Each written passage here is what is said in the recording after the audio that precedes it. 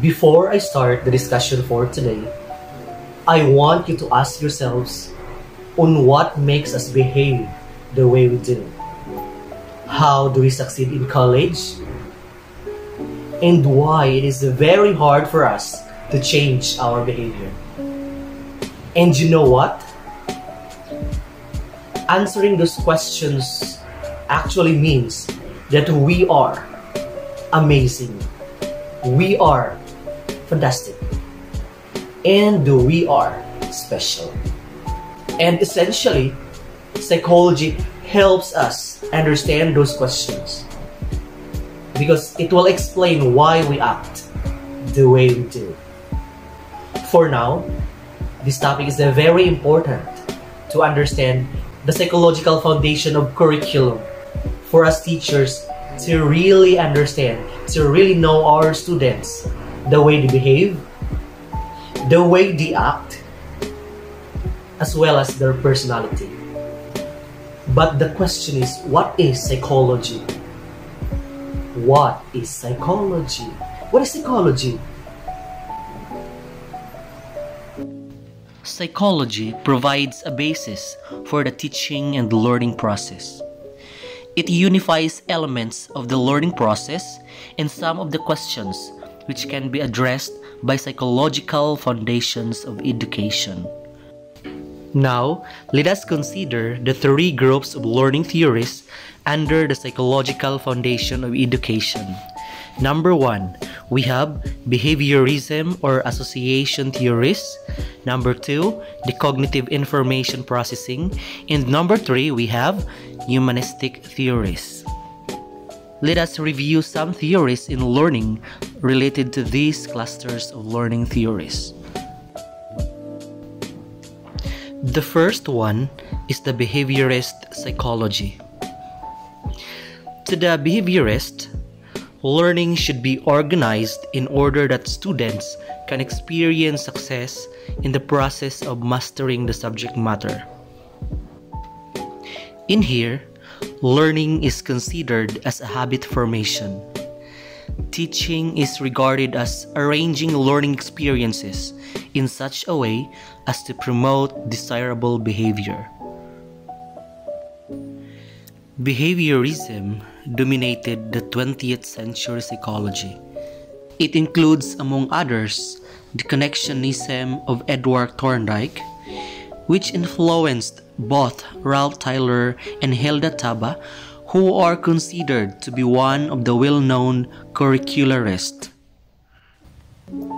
We also have Ivan Pavlov's classical conditioning and B.F. Skinner's operant conditioning.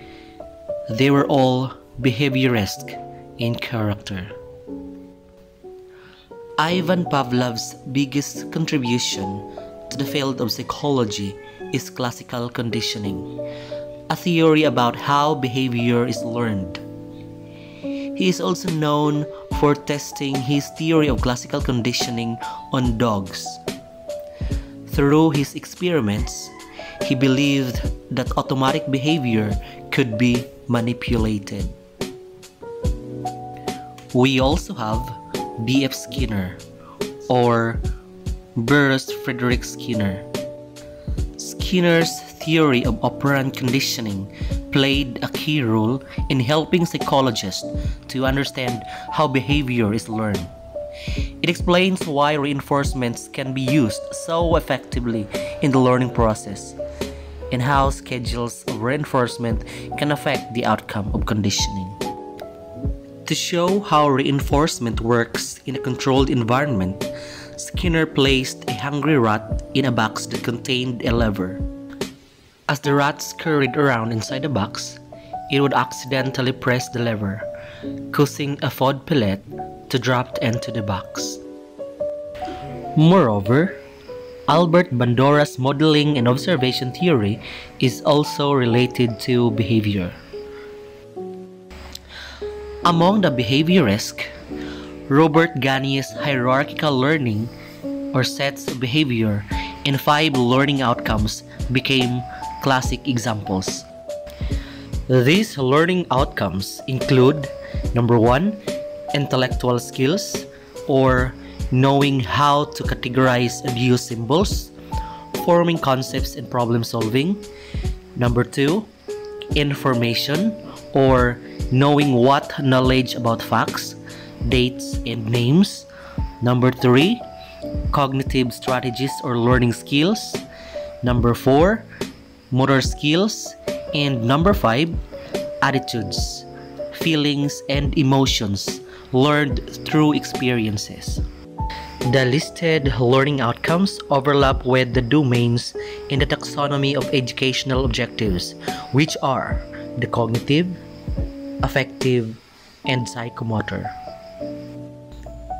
The second theory related to the psychological foundation of education is the cognitive psychology. How do learners store information? How do they retrieve data and generate conclusions? These are some of the basic questions asked by cognitive psychologists.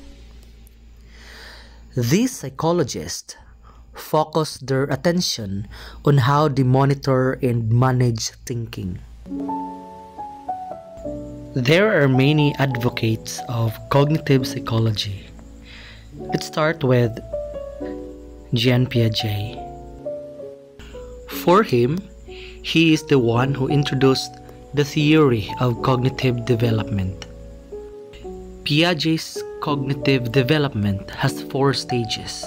We have the sensory motor, having the age range of 0 to 2 years old.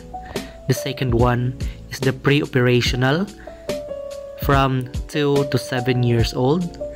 The third one is the concrete operational that is 7 to 11 years old. And the last stage is the formal operational having the age of 11 years old and older. We also have Lev Vygotsky for his social constructivism, Howard Gardner for his multiple intelligences, Felder and Silverman for their learning styles, Daniel Goleman for emotional intelligences, and many more. To the cognitive theorist, learning constitutes a logical method for organizing and interpreting learning. Teachers use a lot of problem and thinking skills in teaching and learning. These are exemplified by practices like reflective thinking, creative thinking, intuitive thinking, discovery learning, and many others. At this moment, let us come to the third theory related to the psychological foundations of education. We have the humanistic psychology. Humanist psychologists are concerned with how learners can develop their human potential. It is built on Gestalt psychology, where learning can be explained in terms of the wholeness of the problem and where the environment is changing and the learner is continuously reorganizing his or her perceptions. Aside from the theory of Gestalt, we also have Abraham Maslow's theory of human needs for self actualizing persons. The Maslow's hierarchy of needs. From the bottom of the hierarchy upwards, the needs are physiological, the food and clothing, safety, job security, love and belonging needs, the friendship, the esteem and self actualization. Needs lower down in the hierarchy must be satisfied before individuals can attend to needs higher up. We also have Carl Rogers' non directive lives, also fall under humanistic psychologist. Curriculum is concerned with the process, not the products. Personal needs, not subject matter psychological meaning, and environmental situations. So now we are done on the three groups of learning theories under the psychological foundations of education.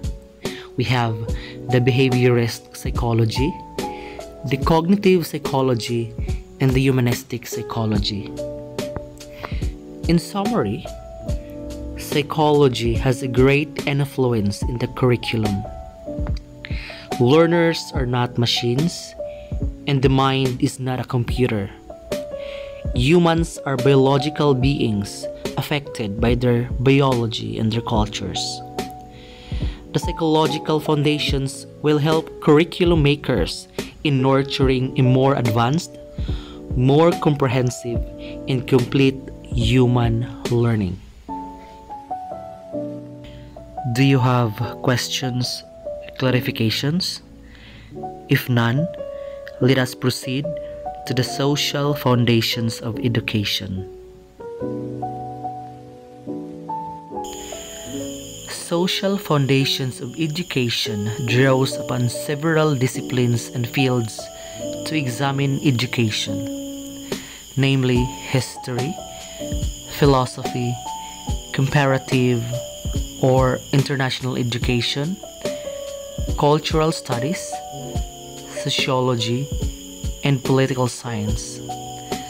Social Foundations inquiry helps to sharpen students' capabilities to understand, analyze, and explain educational issues, policies, and practices in order to improve education.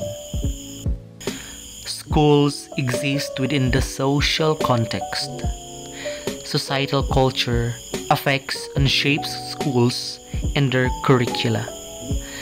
The way school buildings are structured, the way classrooms and students are organized reflect the cultural views and values of the society. In considering the social foundations of curriculum, we must recognize that schools are only one of the many institutions that educate society. The home, the family, community likewise educate the people in the society. But schools are formal institutions that address more complex and interrelated societies in the world. The relationship of curriculum and society is mutual and encompassing. Hence, to be relevant, the curricula should reflect and preserve the culture of society and its aspirations. At the same time, society should also imbibe the changes brought about by the formal institutions called schools. Lastly, let us always remember that our society becomes the major facilitator of education. From time to time, society influences our instructive framework. Society is firmly bound by training, thus can't be isolated from each other.